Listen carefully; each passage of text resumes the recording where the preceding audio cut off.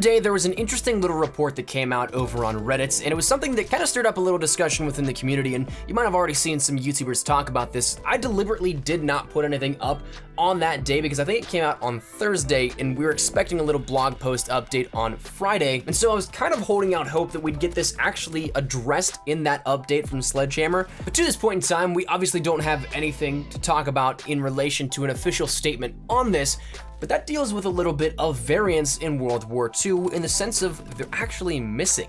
Now, this is something that I'm gonna preface this by saying that honestly, it makes sense to me that this is now coming out because I haven't seen any of these things, if any variants at all, in the supply drop system for as long as I can remember, which always kind of struck me as weird that I didn't have some weapon variants, but whenever I thought about it, I didn't really pinpoint why, and that's because, well, they're completely missing. So the report starts out by somebody over on Reddit by the name of LeadR95, talking about how he had an issue with supply drops and he actually contacted Activision's support team to see if this was something in which there was any issue going on as to why he wasn't getting any.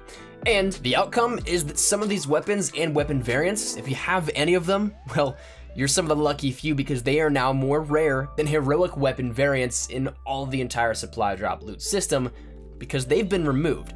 At some point in time, probably around the Resistance event, that's when I've been hearing, but around that point in time is when these weapons were actually removed from the supply drop system. So if you have any of the ones that are listed below, once again, you probably got them earlier on in the lifespan of World War II, but you can't get them at this point in time. So of those listed are the BAR, M1928, Lewis, Bren, combat shotgun, the M30 Luftwaffe shotgun, the Kar 98K, the P08, the 1911, and the Karabin. These are all the weapons that are listed right now as to not be available for either all variants or some variants. So kind of break that down a little bit further, right now, the only ones available for the bar are the Old Captain, which is a special order that was available last week in Major Howard's office. The only ones available for the M1928, the Thompson, were the Wilco, which is a social rank 5 reward, and then the Handler, which was a special order, I believe, two weeks ago now at this point in time. Then for the Lewis, the only one available is the Landship, which is a social rank 11 reward.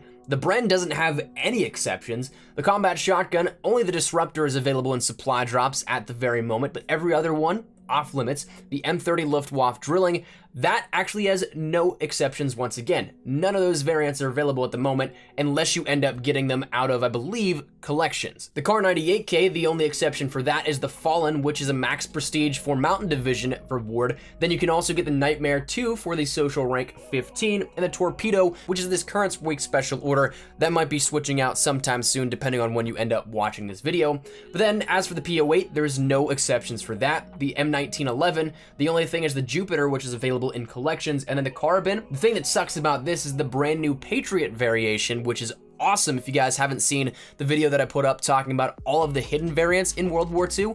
This thing was sick, and absolutely nobody has this. Activision themselves don't even know what's happening with it. Now, the really unfortunate part is this isn't anything that's just community speculation.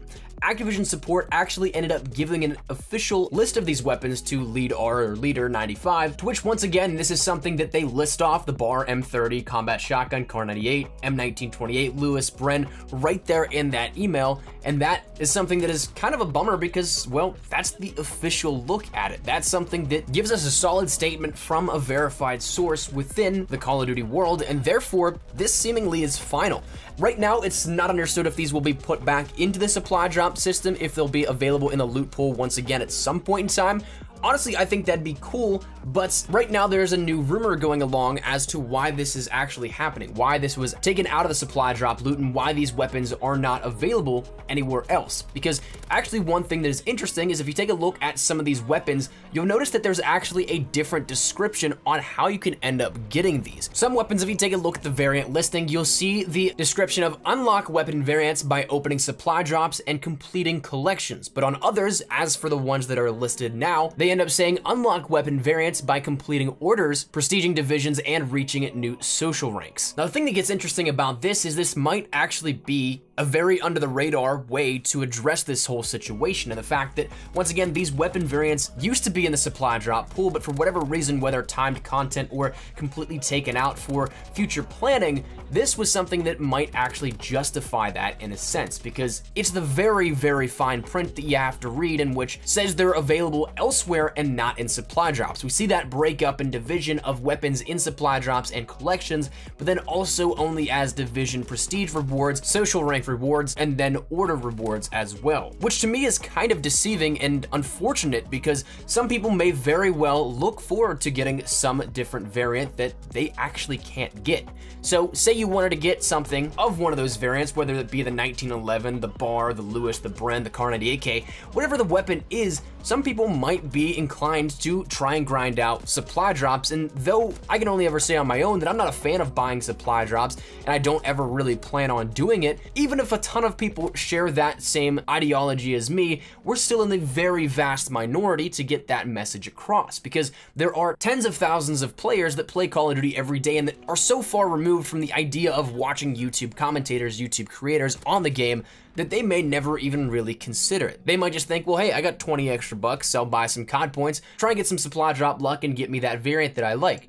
But little do they know, they might not ever even have the chance to get that, even if they do pay for COD points. So in that sense, I absolutely hate how this is laid out, but on the flip side, it's kind of nice because while we let off with the bad, what is nice is the fact that you don't have to try and get these sort of things and it might lay out a nice little schedule of different variants that we end up seeing in the future for those weapons. And one thing that's in particular about those weapons is they're rather popular among players. The bar was considered for ages and may very well still be considered one of the best weapons in the game. The Kar 98K is the only sniper that I end up seeing. Shotguns might not be on the forefronts of popularity popularity, but then there's weapons like the 1911, which have some very sick variants, which I'd love to be able to just earn regularly and not have to either grind out supply drops and orders and contracts for supply drops to get those for days and weeks on end or sink money into it. So it's nice that some of these are being reserved and ones that people will actually enjoy that are being reserved for ways that you can organically get them. So right now we've seen once again the Bar Old Captain, the M1928 Handler, and the Kar 98K Torpedo as of the most recent ones in the weekly orders from Major Howard that give you, simply just for playing the game, a brand new variant for that weapon. This might be the very start and basis of a new system going forward that allows us to get all of these on rotation or new weapon variants that were added in altogether. Some people actually thought that that was something that happened in which we are going to get new variants, which very well may happen, but it does more so fall in line now with this new information that we have now about these variants that are completely excluded from the supply drop, loot, and content. So that's where I kind of am at. I'm a little bit split on how I think I am perceiving this whole situation because yes, it absolutely sucks that some of these were available for some point in time and there's absolutely no real communication about this and that's one thing that honestly I think is the biggest issue is that there's not anything to really clearly define this to everybody. It is something that is laid out, yes, but again, very, very fine print. You have to go only to those weapons that are excluded from the supply drop loot to see that it actually says to get them in orders, social ranks, and then division prestige rewards as well. You have to go to those to only see those. So I think the biggest issue lies is not really all that much transparency. I'd love to get an official statement from Sledgehammer, whether that be in the weekly blog, whether that be in something of a dedicated tweet, or whatever it may be. I would like some communication here because while it seems like Activision support spilled the beans on these weapons that are no longer in the supply drop loot and contents for the items that you can end up getting, there's still a little bit of confusion over the reasoning as to why. So as long as people can end up going in and knowing that they won't have the option to get a bar variant, to get a Kar 98K variant, whatever it may be, I think that I'd be more okay with because right now, personally, I think it comes down to the fact that there are people out there grinding for a weapon variant that they may never get and maybe even at the very worst spending money for a chance to get something that is statistically impossible to get. So that said, that's why I want to turn it over to you guys because I want to get your thoughts and feedback on this situation. I think it's something that is really up in the air, that it has the potential to make a future system really cool for how we can unlock things and it allows players to get more variants that they probably want for weapons they probably use. And I think honestly, in that sense, to be able to give content in an organic way to players, that is a great way and a great future for World War II that I really do enjoy. But again, the problem I have is there's not really all that much transparency and there's not all that much that clearly defines that. So I'd love to get your thoughts and feedback down there in the comment section down below. Are you hoping for some sort of address from Sledgehammer talking about this? Are you guys hoping that maybe we end up seeing all variants available at some point in time in orders? Do you want to see everything put back into the supply drop content and loot pool?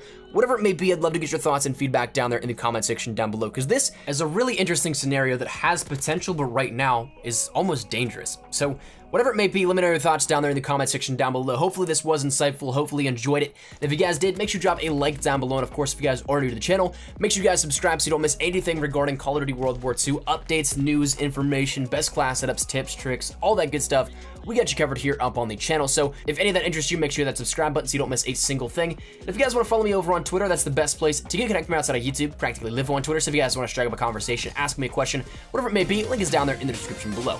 And finally, if you guys want to follow me over on Instagram, I'm trying to get more active over there as well. So that link is also in the description below if you guys want to toss a follow. So all that said and out of the way, hope you guys had a fantastic day.